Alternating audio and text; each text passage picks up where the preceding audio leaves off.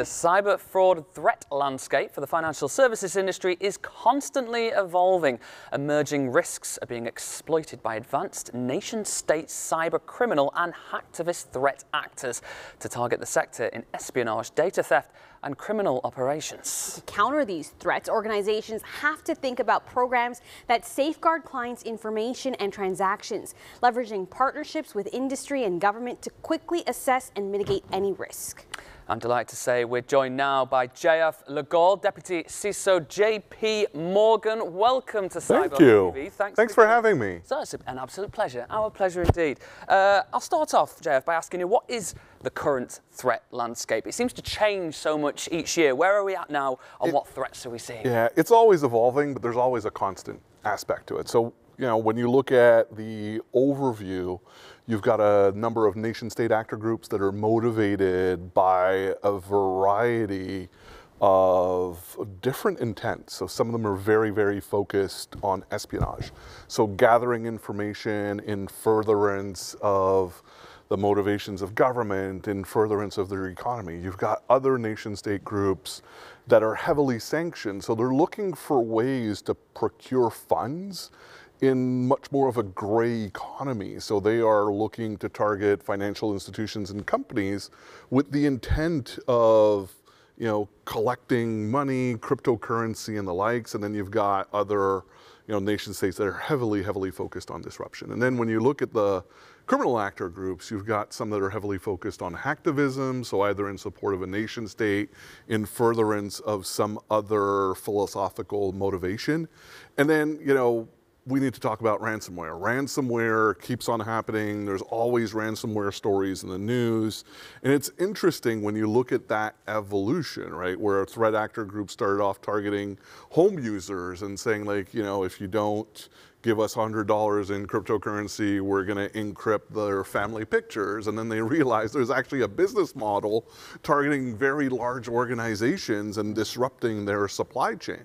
And, and, that's where you know it becomes incredibly important for financial institutions to not only look at themselves, but look at their entire ecosystem because disruption can come from you know clients that are being impacted. It can come from third parties, vendors that are suffering some form of impact. So when you start to break it down, you know it's always looking at the actor groups from their capabilities and their intent depending on who you are and what steps you take to mitigate that activity. Mm, so those are the, the threats that you're focused on now, but what's emerging? Well, it, it's always looking at, you know, how actor groups are, and, and these threat actors are going to leverage evolution and technology right? So like the analogy I always use is like if you build a better mousetrap, they're going to build a better mouse. Mm. And you know the, the, the, super simple one that is easy uh, to, to like cover off is when you think of how everybody has been trained to look for phishing emails. Right? Look for typos, look for grammatical errors, look for those types of things. And now today, you know, there, there's a variety of technologies like AI is coming in. So it's it's simpler for an actor to have a very, very well written email mm. that they can send to people. So when you look at the evolution of the threat landscape, it's about following the geopolitical world and seeing like which nation state actor groups are being uh, you know uh, involved in different types of conflicts uh, it's looking at where money can be made. It's looking at the evolution. If you take, you know, actor groups like North Korea, they were targeting the financial ecosystem. They moved to cryptocurrency because it was easier for them to move money. So when you start aligning the geopolitical landscape and uh, money movement, that's when you see like where the actors are going. Mm. You mentioned uh, ransomware uh, there. Could we, could we dig into that for a second? Yeah. What, what, what, are we, what are we talking about there exactly? So what happens is, you know, and going back, I started a little bit on the history of where it started happening. You know, we had a global pandemic. Organizations had to shift employees to work from home. So that meant that they stood up a lot of capabilities from a remote access perspective, mm. and they did it in many cases overnight. Mm. So that opened up a number of vectors for quote unquote bad guys to gain access into organizations. So, you know, normally you'll see ransomware start with some form of credential theft, remote access uh, into the organization, and then they move laterally and they'll go for the crown jewels and then encrypt the systems. And when you start to break down those attacks, there's controls that you can have to prevent them, but a lot of this is about readiness. It's about how organizations are preparing themselves for these types of attacks. So running uh, a large number of like tabletop exercises to see how the organizations react. Um, running, you know, no notice drills, meaning how do you test your security incident uh, response procedures by creating fake ransomware on your network and see how quickly people will be able to deal with it. And it's also when you study a lot of these attacks, they're on the network. Some of them are on the network for an extensive period of time, and some of them are there for a very short period of time. So it's like understanding how actors operate so that you can quickly mitigate and contain the activity. But you know, there's a saying in cybersecurity, it's not a question of if but when. So being ready to deal with these types of attacks are it's absolutely essential for an organization to know and to test out these practices and to have really all of the parties in the organization capable of doing so.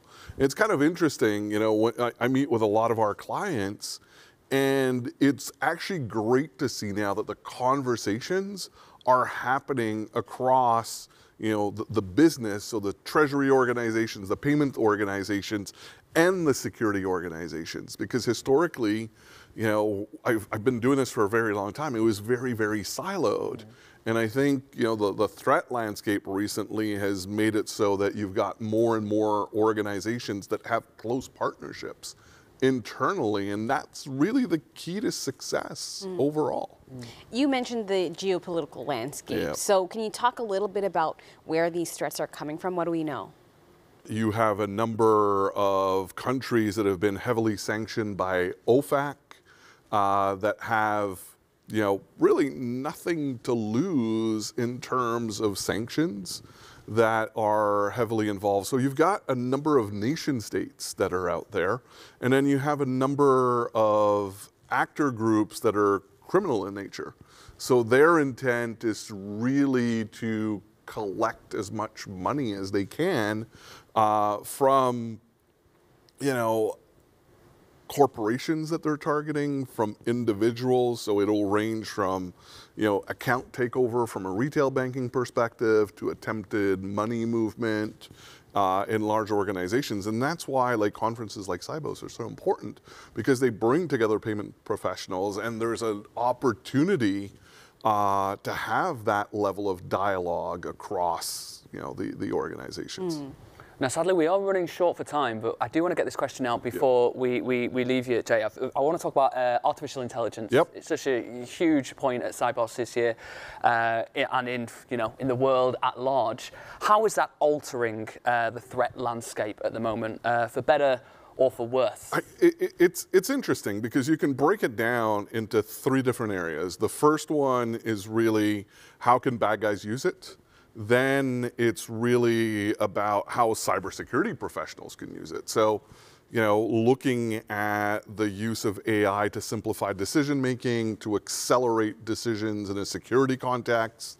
And then it's really how do organizations secure AI overall to ensure that the models that they're building can't be compromised or can't be used by mm. an adversary. Uh, it's, a, it's such an interesting conversation and one that, as you say, will continue to evolve and change uh, over the coming months and years. JF Legault, Deputy CISO at JP Morgan, thanks so much for chatting with us. Thank you for having me.